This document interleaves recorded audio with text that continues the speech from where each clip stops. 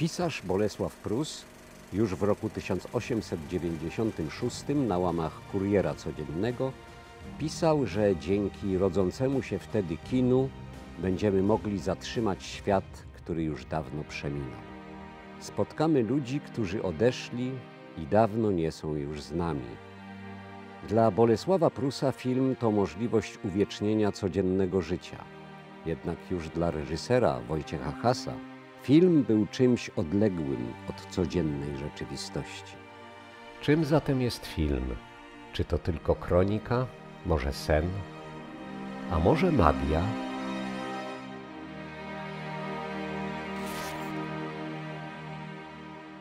Jesteśmy w hali zdjęciowej Centrum Technologii Audiowizualnych we Wrocławiu.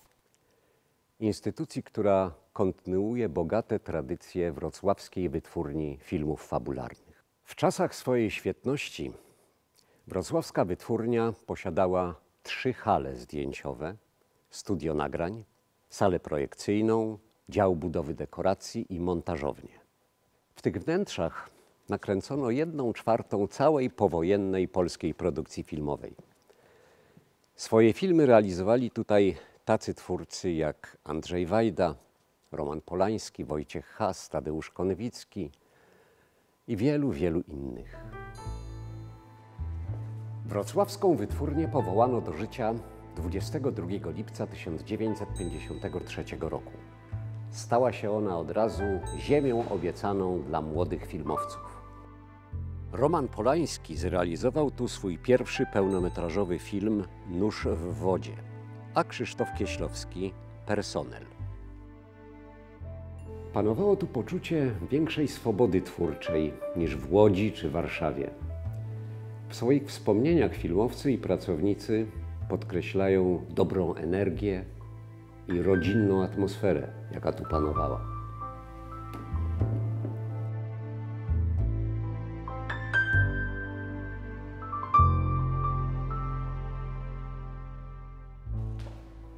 Możliwość wymiany myśli i obecność wielu wybitnych osobistości, nie tylko artystów, stanowiły niepowtarzalny klimat tego miejsca.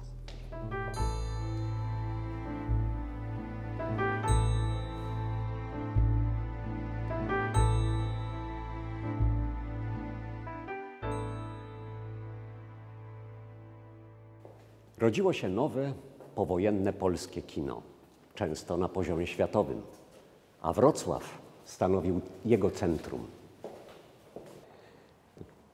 Dla komunistycznych władz nowa wytwórnia we Wrocławiu miała symbolizować odrodzenie polskiej kultury na odzyskanych po niemieckich ziemiach.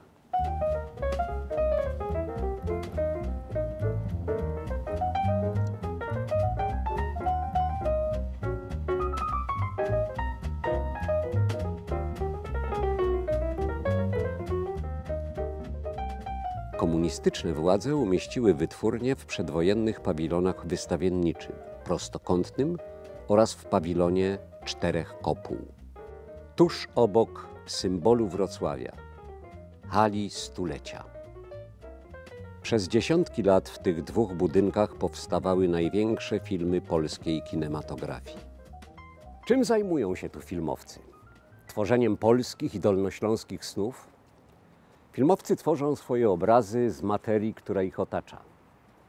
Operując przestrzenią i światłem, dodatkowo wprowadzają je w ruch. Ruch tej materii utrwalają w serii obrazów.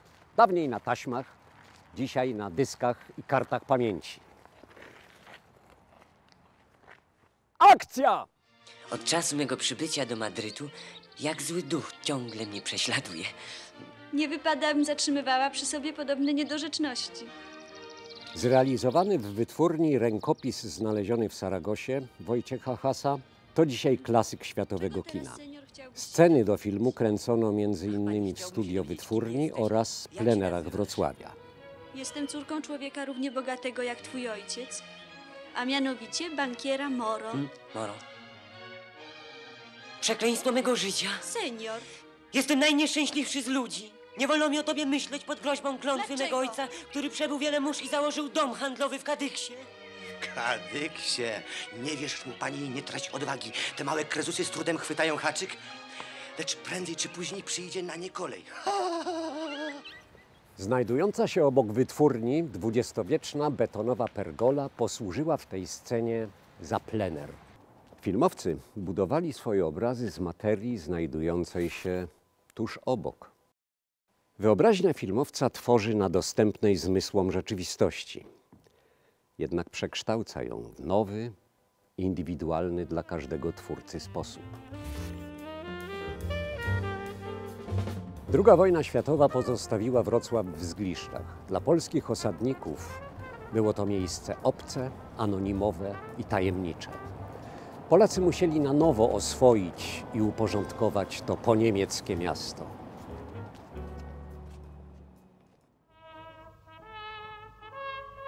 Filmie Zobaczymy się w niedzielę reżyser Stanisław Lenartowicz przedstawia Polakom Wrocław w sposób pogodny, nawet romantyczny, jako piękne, unikatowe i stare europejskie miasto. Poprzez film obcy Wrocław stawał się emocjonalnie bliższy. Pogodność, tragizm, groza. Dzięki filmom Wrocław miał trafić Polakom do serca. Stanisław Lenartowicz często ukazywał niepowtarzalność tego miasta i piękno Dolnego Śląska. Sam zakochał się we Wrocławiu i mieszkał w nim do końca życia.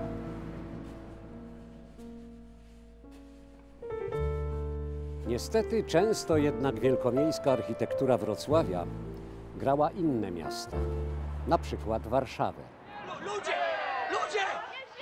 W prezentowanej scenie gra wrocławska ulica Nowa oraz najpopularniejszy aktor swoich czasów Zbigniew Cybulski.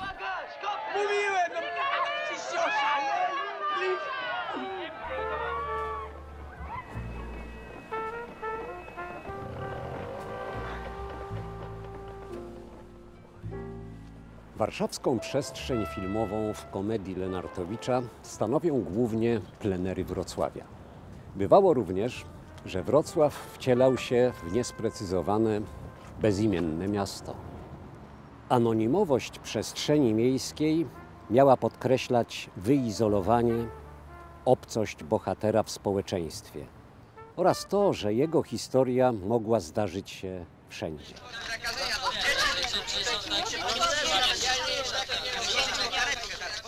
W debiucie reżysera Wojciecha Hasa alkoholik Kuba Kowalski błąka się po ulicach nieprzyjaznego, mrocznego, anonimowego miasta. Wiadomo, że kierowcy to trójkowy. Kary na nie ma, no. Pijany był? A skądże ja mogę wiedzieć? Jestem takim samym przechodniem jak i pan. W roli głównej nieśmiertelny Gustaw Holubek i ulica Barlickiego we Wrocławiu.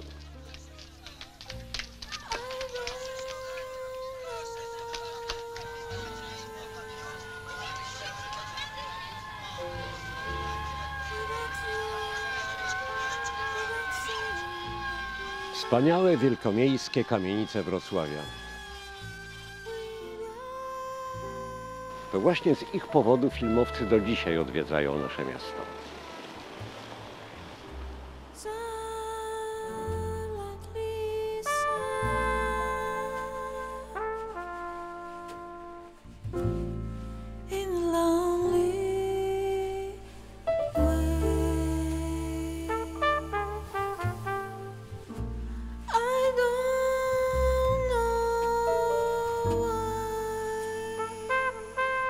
Spielberg, realizując sceny do filmu Most Szpiegów, wykorzystał kamienicę przy ulicy Kurkowej, a także najpopularniejszej wśród filmowców ulicy Wrocławia, Mierniczej. Ta wyjątkowa ulica pojawia się w wielu filmach, również w wyprodukowanym przez wrocławską wytwórnię dramacie Kobieta samotna. Tęskniący za miłością Bogusław Linda i Maria Chwalibuk na anonimowych ulicach Wrocławia.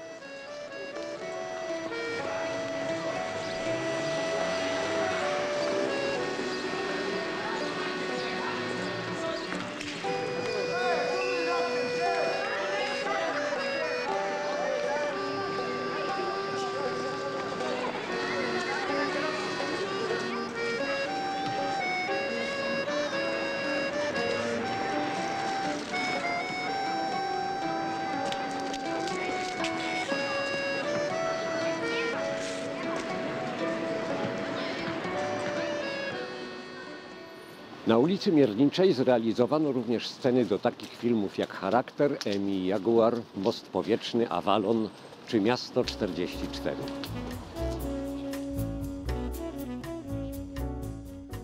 Do dzisiaj zachowały się wszystkie kamienice.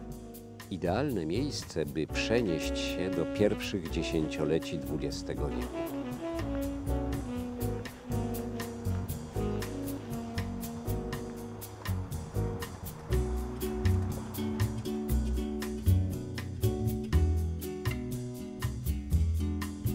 Filmowcy korzystali również z wnętrz wrocławskich budynków. Często gościli w słynnym hotelu Monopol.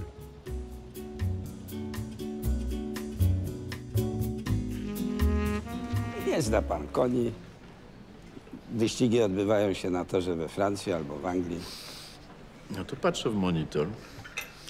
Obserwuję, jak grają miejscowi. Tadziu, przecież bez względu na kraj, rasę, przekonania 90% ludzi zawsze przegrywa. Żeby wygrać, trzeba zagrać w kontrze. Dubito ergo cogito. Cogito ergo sum. Czyli nie tylko fakty. Interpretacja faktów. Wyobraźnia ważniejsza niż Wiedza. Albert Einstein. Z dawnego wystroju hotelu nic jednak nie pozostało. Dzisiaj trudno rozpoznać miejsce, w którym kręcono jedną z najsłynniejszych scen w polskiej kinematografii.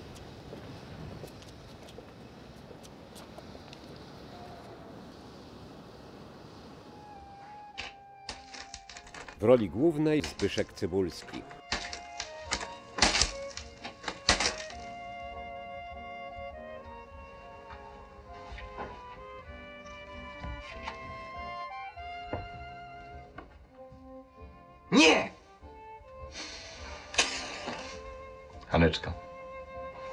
Wilga. Kosobucki.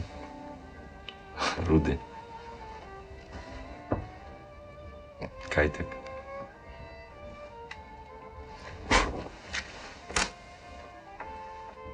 My żyjemy. Sceny do filmu Popiół i Diament Andrzej Wajda kręcił w kilku miejscach Wrocławia. Na przykład na ulicach Nasypowej czy Bogusławskiego.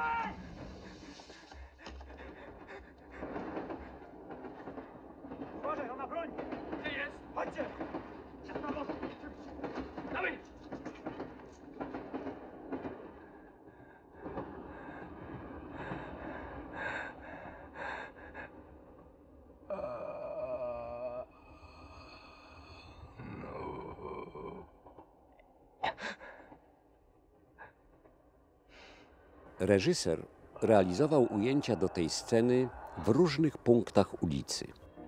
Widz nie ma jednak czasu na przyglądanie się szczegółom.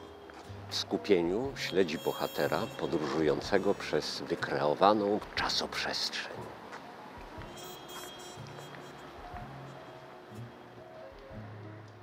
Ulica Nasypowa prowadzi nas do kolejnego ważnego miejsca filmowego Wrocławia.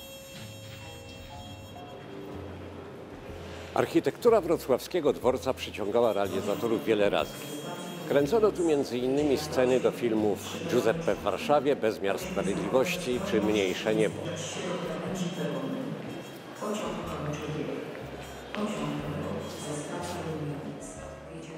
Częstym gościem na wrocławskim dworcu był Zbigniew Cybulski.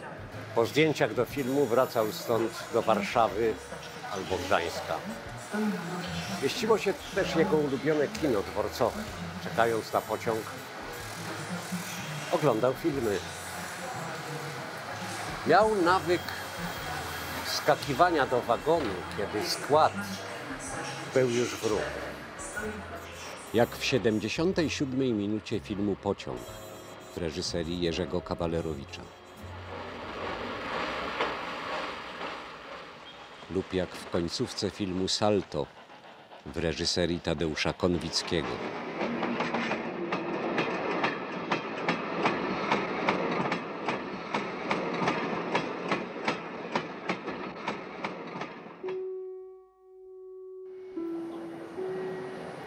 Ósmego stycznia 1967 roku nad ranem Cybulski wracał z planu zdjęciowego do filmu Morderca zostawia ślad.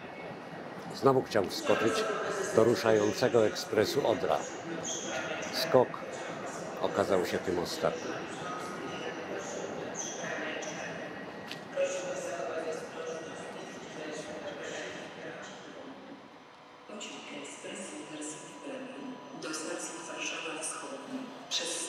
Dworzec główny był infiltrowany również przez szpiegów oraz słynnego agenta J-23.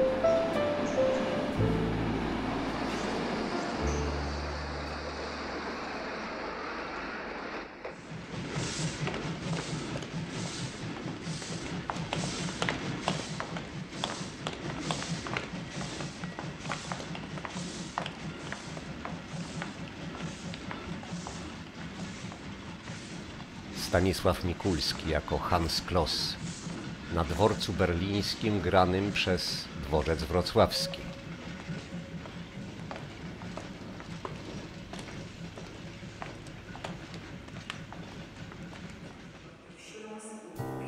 Jednak architektura miasta pozostawała częścią niemieckiej kultury.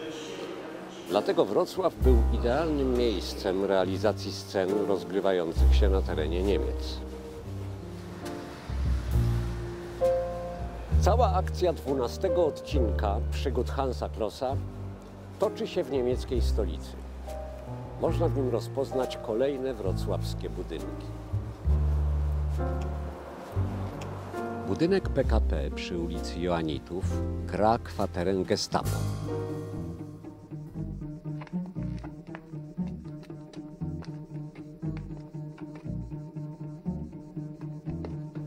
Teatr Polski Berliński Teatr Roma. Marszniku Klos!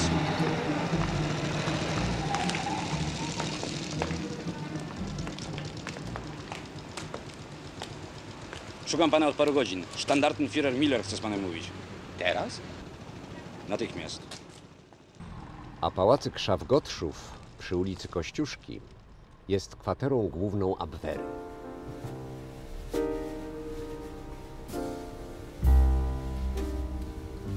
Filmowy Wrocław. Miasto o wielu obliczach. Kameleon. Centrum produkcji filmowej, jednak unikające w filmach własnej tożsamości. Miasto pozostające w cieniu. Falling in love for a short time. Going alone for the rest of my life. Love is like a golden ray outside. Doesn't last very long.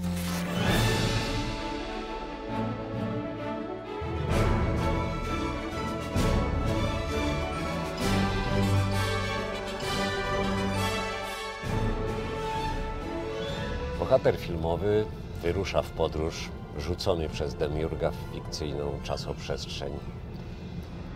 Podróż po rzeczywistości która niekiedy tylko przypomina naszą. Bohater powinien mieć swój cel. Na przykład opowiedzenie o historii filmu na Dolnym Śląsku w godzinę. Cel prawie niemożliwy do osiągnięcia. W filmie Baza Ludzi Umarłych bohaterowie trafiają zimą w nieprzyjazne góry. Zmuszani przemocą przez partyjniaka Zawadę do zwożenia drewna, ryzykują życiem. Ich celem jest przetrwanie. Muszą pokonać Zawadę, swojego wroga. Konflikt napędza filmową podróż bohatera. Dlaczego to zrobiłeś? Musicie zostać. Rozmontowałeś gaźniki w drobny maczek. Chcesz nas zatrzymać w ten sposób. Zatrzymam was w każdy sposób. W filmie zagrali m.in. Leon Niemczyk, Emil Karewicz. Tadeusz Łomnicki. Zygmunt Kręstowicz i Roman Kłosowski. I z takim świadectwem nie dostaniecie nigdzie roboty. Ten świetny film powstał na podstawie powieści Marka Chłaski Następny do raju. Chłasko w wieku 16 lat sam wykonywał tę ciężką i niebezpieczną pracę. W liście do matki z 1950 roku pisał: Otrzymałem filcowe buty, wielki kożuch, wyglądam jak doński kozak. Jestem pomocnikiem kierowcy na wozie Studebaker. Chłasko pracował tu, w Bielicach i w otaczających wieś Górach Bialskich. Wytrzymał półtora miesiąca. Wrócił do Wrocławia i szybko stał się gwiazdą wśród pisarzy młodego pokolenia.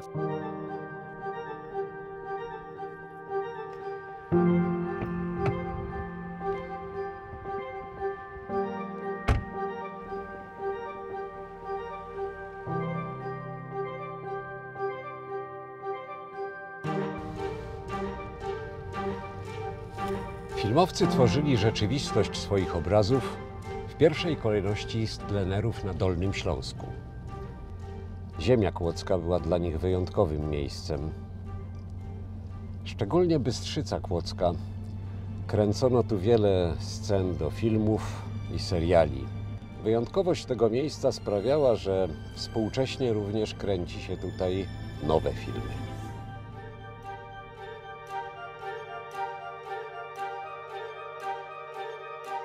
W roku 2017 Agnieszka Holland zrealizowała tutaj sceny do filmu Pokot według prozy noblistki Olgi Tokarczuk. Kręcono tu również zdjęcia do filmów Za niebieskimi drzwiami i Wieża Jasny Dzień.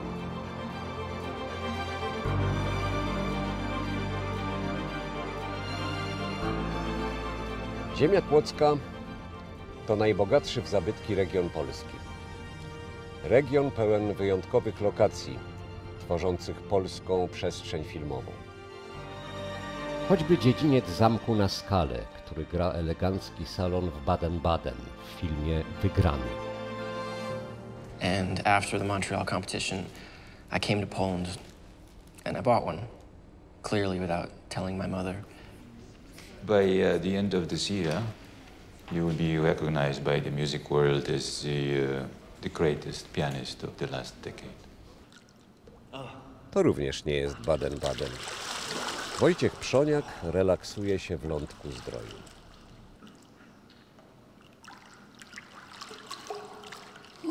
A temu twojemu profesorowi bym nie ufał.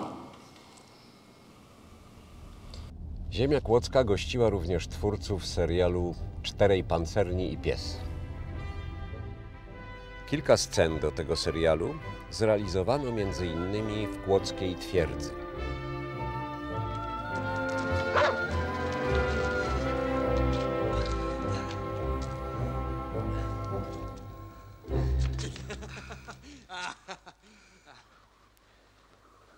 Хороший город. Эх!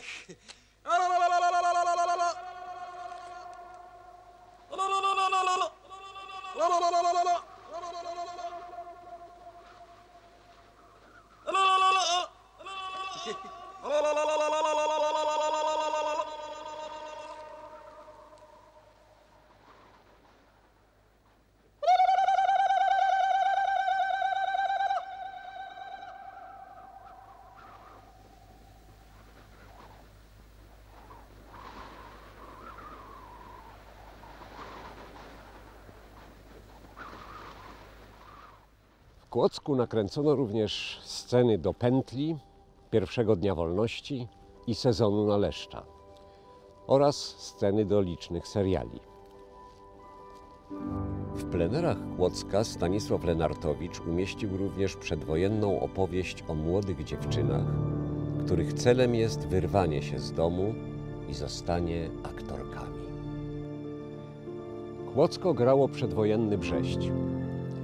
W serialu pojawił się symbol miasta gotycki most.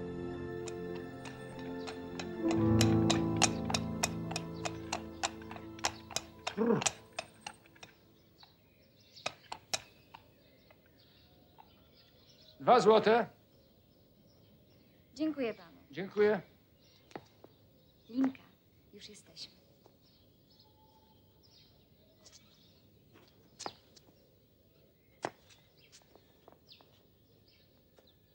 Jo.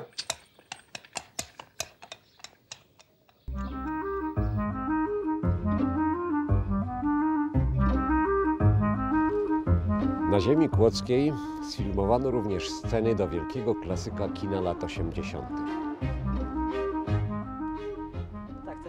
W małym miasteczku Lutyń pojawia się tajemniczy biznesmen, mistrz pokera i manipulacji. Główny bohater, taksówkarz Jurek, zostaje przez niego wciągnięty w świat hazardu. Celem Jurka jest nauczenie się od wroga pokerowego fachu i pokonanie go w ostatecznej rozgrywce. W rolach głównych Jan Nowicki i Andrzej Pieczyński. A mówiłem, że z tym domem nic panu nie wyjdzie. Jutro na licytacji okaże się.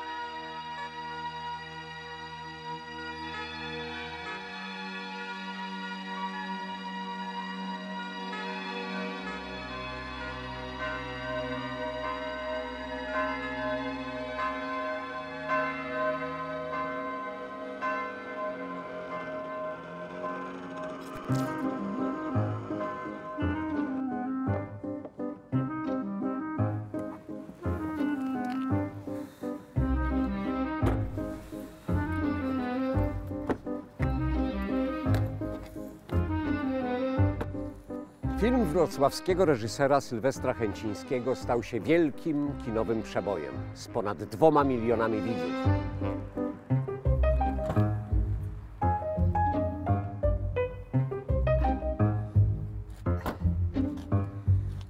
Plenerów filmowemu Lutyniowi użyczyła Polanica i Wambierzyce.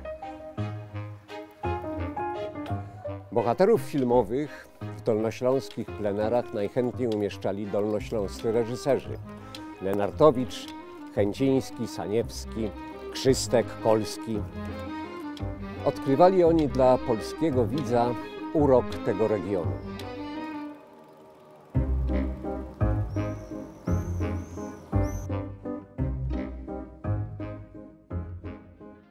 W nowelce Kolarz wyścig kolarski dookoła Dolnego Śląska staje się pretekstem do ukazania piękna regionu. Widz śledzi perypetie kolarzy i chłonie malownicze krajobrazy, które dopiero od niedawna są częścią Polski. W roli głównej znów Zbyszek Cybulski, którego talent aktorski został odkryty przez Lenartowicza.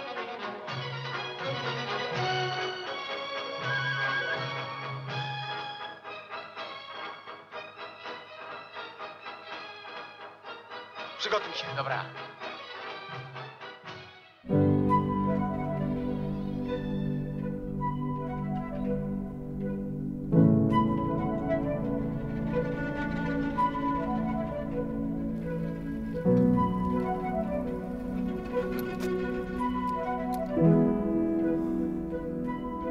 Z Zapory Pilchowickiej, niedaleko już do jednego z popularniejszych w polskim filmie miasteczek Lubomierza.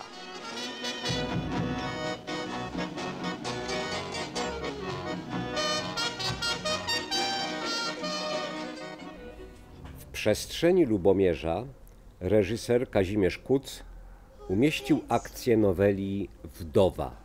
Hortensję! Hortensję. Co? Hortensję? W małym miasteczku osiedlili się zdemobilizowani po wojnie żołnierze. Bohaterka, młoda wdowa, traktowana jest przez tych weteranów jak pomnik zbiorowej pamięci po ich zmarłym koledze, narodowym bohaterze.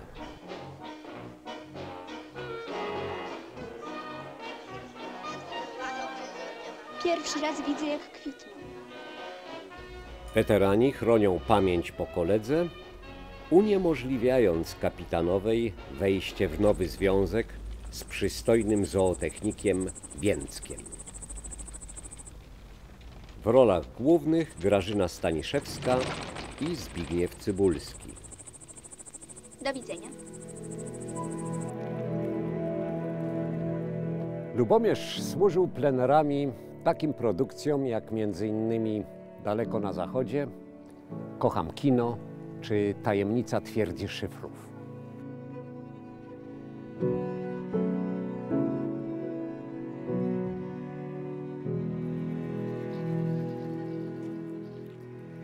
Jednak najważniejszym filmem, do którego sceny powstały w Lubomierzu, jest komedia Sami Swoi w reżyserii Sylwestra Chęcińskiego. Bohater Kazimierz Pawlak wyrusza w podróż z Kresów na ziemię odzyskane. Jego celem jest zadomowienie się w nowym miejscu i w nowej, powojennej rzeczywistości. Ciągnący się za Pawlakami konflikt z Kargulami sprawia, że nie jest to możliwe. Gdzie indziej nie można było, a? Uj, Mania, ty nie nerwuj się. Trzeba nam było szukać nowego wroga, jak tu pod bokiem znalazł się stary, a? Toż to by było nie po bożemu. A tak, tak, tak, tak.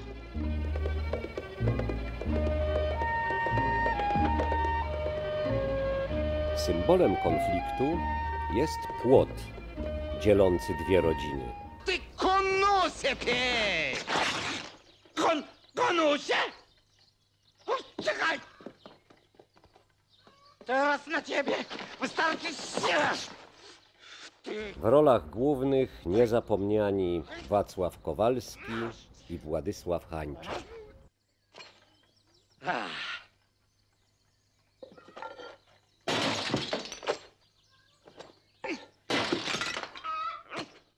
Słynny filmowy płot nie znajdował się jednak w Lubomierzu.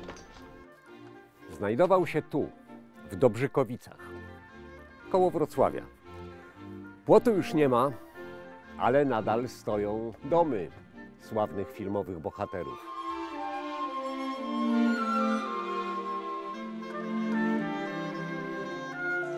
Ostatecznie to miłość młodszego pokolenia Pawlaków i Karguli pogodziła zwaśnione rodziny.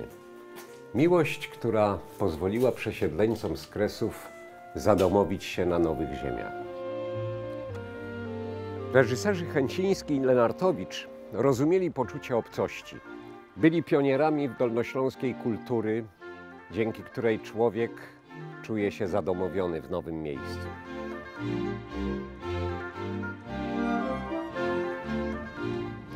W latach 60. XX wieku komunistyczne władze zaciskały pętle cenzury na kinematografii. Celem nowej polityki kulturalnej była walka z pesymistyczną wizją człowieka i historii w kinie. A głównym wrogiem filmowcy nurtu Polskiej Szkoły Filmowej. Produkowane teraz filmy musiały być rozrywkowe, patriotyczne i wzniecać poglądy socjalistyczne. Stop, stop! Edwin, no gdzie jest twoja czapka? No i musimy to nagrać jeszcze raz.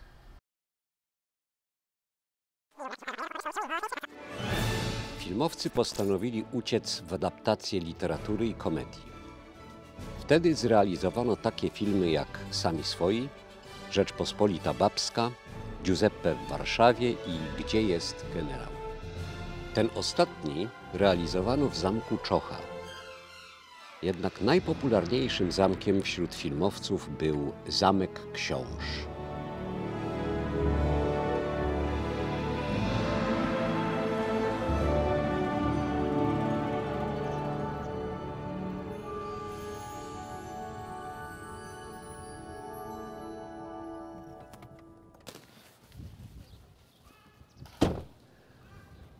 Barokowe komnaty Zamku Książ posłużyły do realizacji zdjęć do wielu filmów, między innymi Hrabiny Kozel, Trędowatej i Diabła.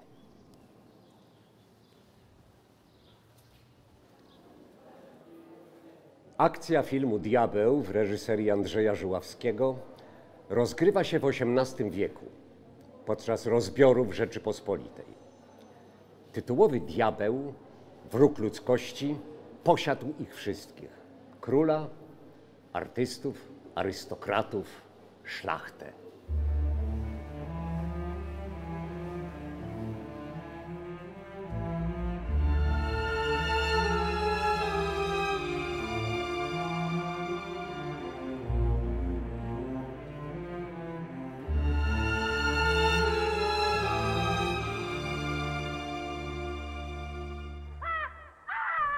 Bohater Jakub, podróżując przez zdemoralizowany świat, pragnie ocalić swoją rodzinę. Nie udaje mu się to jednak. Sam również pada ofiarą demona. Bohater wciągnięty do krainy wroga może z nim przegrać. Tak jak w życiu.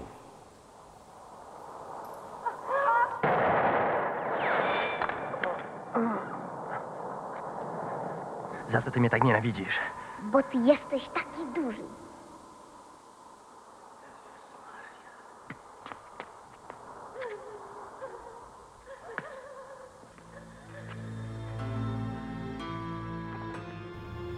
Diabeł atakuje również przestrzeń sakrum henrykowskiego klasztoru. Potęguje to w filmie atmosferę apokaliptycznego konfliktu. U Arystotelesa dramat, czyli również film, jest zbłądzeniem bohatera w świat, którego władcą jest nieprzyjaciel. Zbłądzenie jednak wynika z wad i słabości samego bohatera.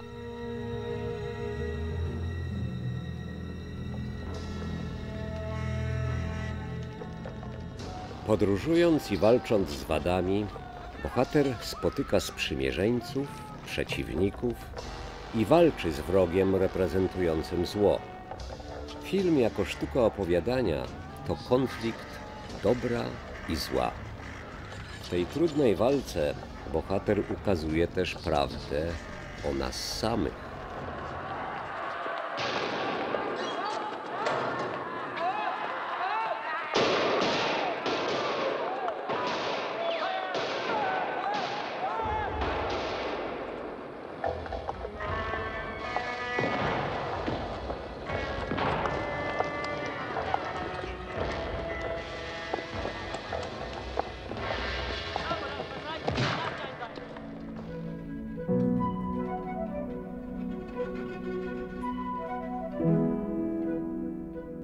Zmaganiach bohaterowie filmowi wędrowali również na północ Dolnego Śląska.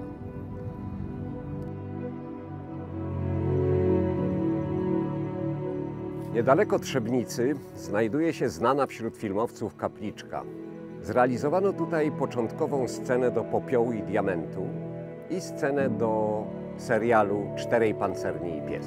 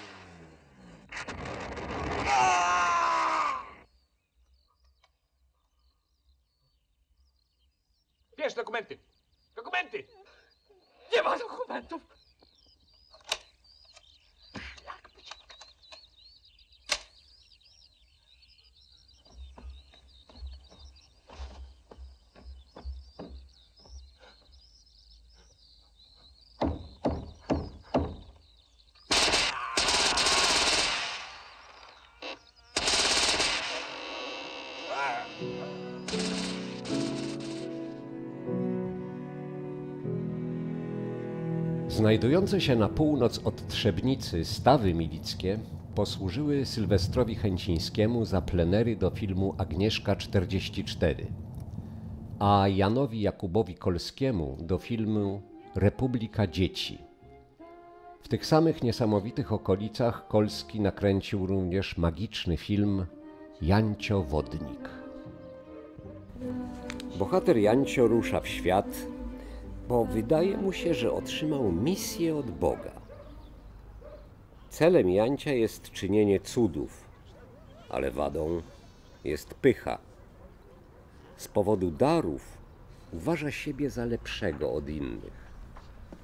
Wróg, wykorzystując słabość bohatera, wciąga go w swój świat, chcąc go zniszczyć. Tym razem nie udaje mu się to. Jancio wraca do domu, rozumiejąc swoje błędy i działania zła. Chłopak. A niby co innego. W roli głównej Franciszek Pieczka. Pokażesz. Będziesz się gniewał. Sceny do filmu kręcono w Drągowie, gdzie stoi domek Jancia i w tym zrujnowanym rokokowym pałacu w Goszczu.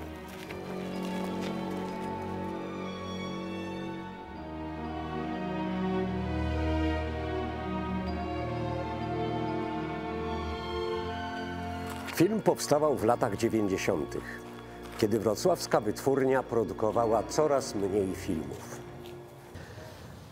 Powodem były przemiany gospodarcze, brak funduszy i ostatecznie powódź, która w 1997 zalała budynki wytwórni.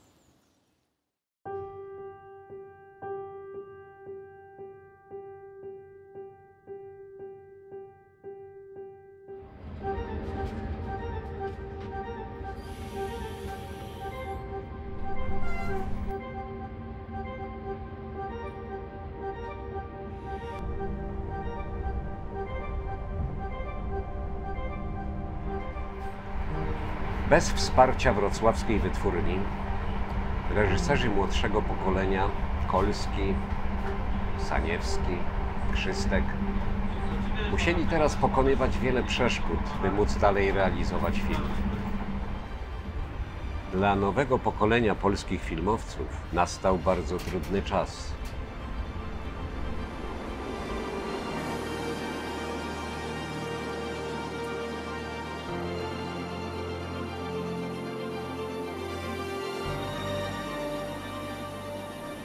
Sceny do melodramatu Mała Moskwa Waldemar Krzystek realizował głównie w Legnicy.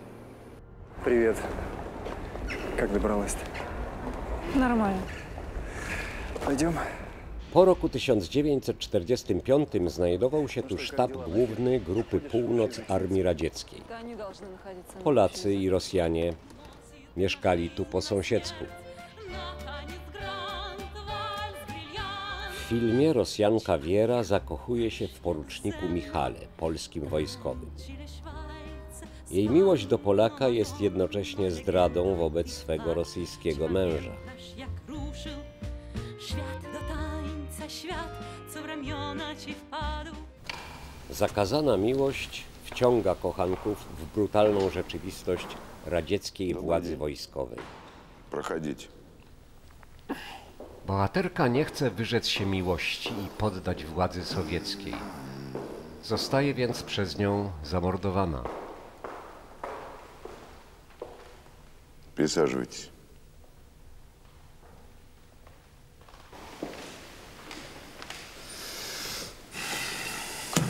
Bohaterowie filmowi dążą do celu i walczą z wrogiem, błądząc po magicznych krainach.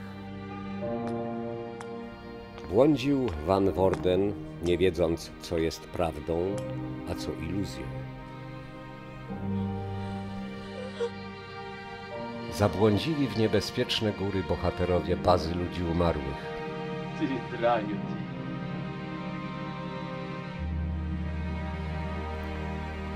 I błądził w świecie pijaństwa Kuba Kowalski.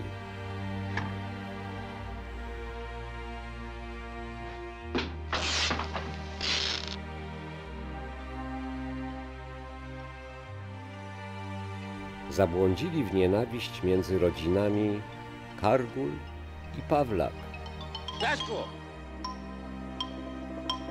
Trzy palce! Zabłądził Oliver Linowski w zepsuty świat mecenasów sztuki. Pamiętasz?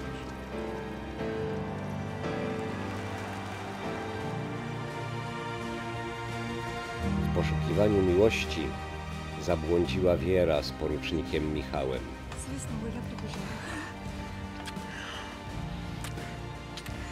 Jako widzowie błądziliśmy razem z naszymi bohaterami. Podróżowaliśmy z nimi też po Dolnym Śląsku, krainie początkowo niebezpiecznej i wrogiej dla Polaków. Jednak z czasem, po wielu perypetiach, stała się ona naszym domem. Bo nie ma jak po długiej podróży wrócić w końcu do domu.